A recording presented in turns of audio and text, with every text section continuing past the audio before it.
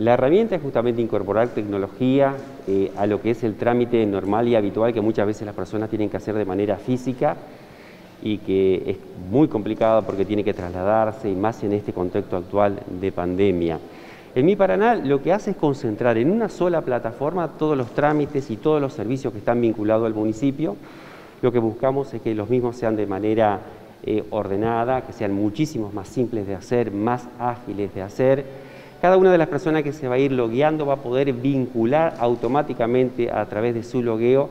a todas las partidas que tiene en la municipalidad, todas las gestiones que ha hecho en la municipalidad, su propio logueo va a traer toda esa información para que él lo pueda administrar de manera segura, secreta, obviamente para eso se logueo con distintas etapas de seguridad.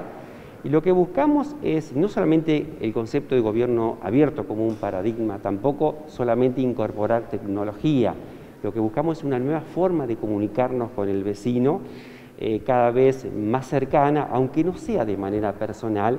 y también lo que se busca es mayor eficiencia, ¿no? que los trámites sean más simples, que sean transparentes, que no exista discrecionalidad. Bueno, eh, seguramente muchos de los vecinos han tenido inconveniente para pedir turno para hacer distintos trámites. Lo que busca este software es justamente darles a todos la misma posibilidad que los procesos sean simples. Hay que lograr que las cosas sean mucho más simples para que sean más eficientes y que eso indudablemente va a traer acompañado muchísima más transparencia a todos los trámites o todas las gestiones que a diario los vecinos, los comerciantes hacen en, en la Municipalidad de Paraná.